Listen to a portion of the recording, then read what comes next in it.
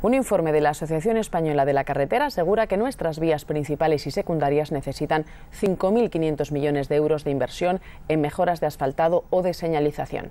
El Ministerio de Fomento asegura que las carreteras que dependen del Estado central están bien conservadas.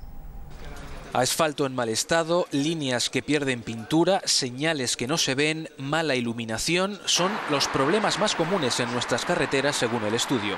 En España podríamos decir que tenemos una buena red de carreteras, pero que está muy mal conservada. Nos encontramos unos niveles de conservación del firme iguales a los de hace 25 años. Al año 1985 la Asociación Española de la Carretera, de la que forman parte constructoras y fabricantes de equipamiento para carreteras, pone cifras al desgaste que denuncia. Según sus cálculos, harían falta 5.500 millones de euros para poner al día nuestra red viaria principal y secundaria.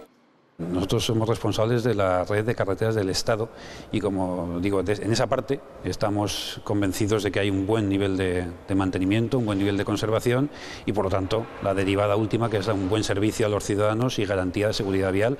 En España las carreteras no solo dependen del gobierno central, también de las autonomías o de las diputaciones. La inversión en mantenimiento es muy desigual. El principal problema en España es que vamos circulando por una vía y de repente eh, en un metro cambia absolutamente el estado de esa carretera porque es otro titular. ¿Y qué opinan los conductores? Eh, antes estaba mucho peor, ahora pues hombre, se están conservando mucho mejor. Ya están dejadas de mano.